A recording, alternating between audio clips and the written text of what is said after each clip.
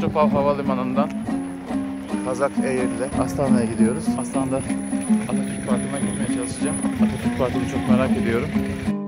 Kazakistan'da e, başkent Astana'ya doğru olan yolculuğumuz başladı. İlk defa çift pervaneli bir uçağa biniyorum.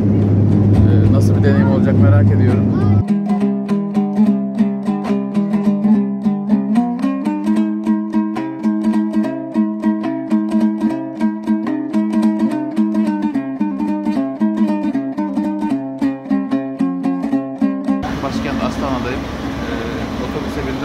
Bindim. 10 numara otobüse binince Atatürk Parkı'na götürüyor. Parkı çok merak ediyorum. Neler göreceğiz? Bakalım.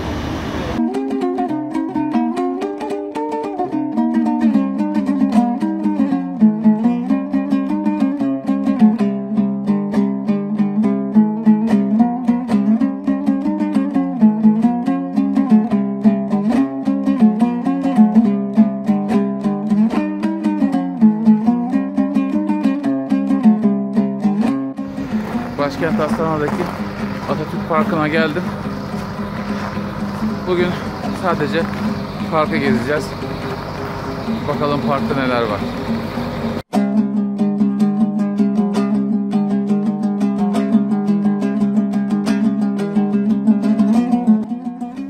Parkın girişinde hemen e, sol tarafta bir Atatürk heykeli görüyorum. Biraz da yakından bakalım Atatürk heykeline.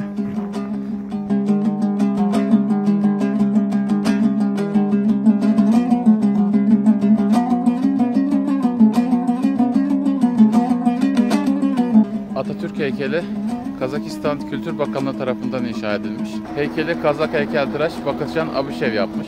Heykel 4 metre 40 santim uzunluğunda ve 5,5 ton ağırlığında.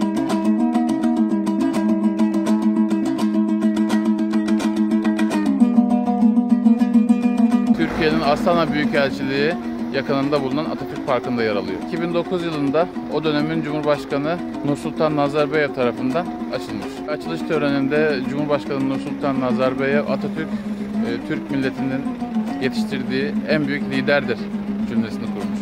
Atatürk heykeli için burada İşim Nehri'nin hemen kıyısında yarım hektarlık bir e, bölüm tahsis edilmiş. E, hemen İşim Nehri'ne de bakalım şöyle arkamızda İşim Nehri var.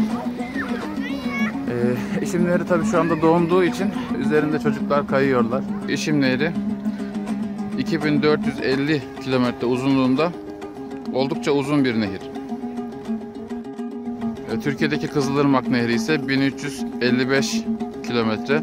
Yani İşim Nehri gerçekten çok daha uzun. Kazakistan coğrafyası da ee, oldukça geniş bir coğrafya.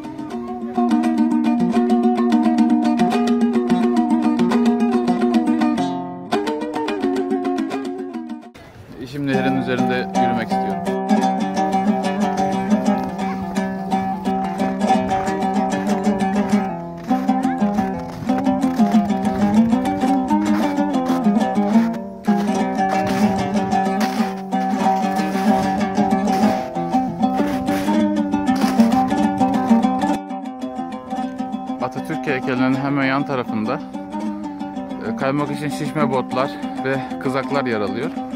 Bunların da şişme botların 10 dakikalık ücreti 1000 tengeymiş. Ee, yani 40 lira civarında.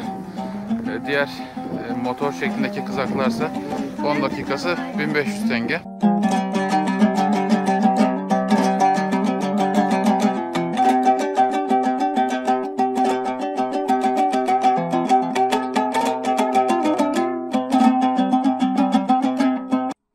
Balıkçı görünüyor uzakta. Ee, işimlerinde çadır kurmuş ve balık tutmaya çalışıyor.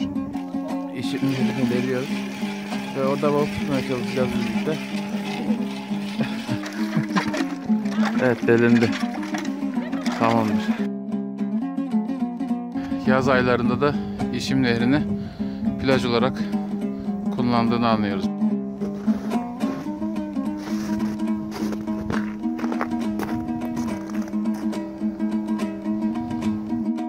Atatürk heykelinin hemen çaprazında Türkçe şiirin öncüsü olarak kabul edilen Yunus Emre'nin bir heykeli var.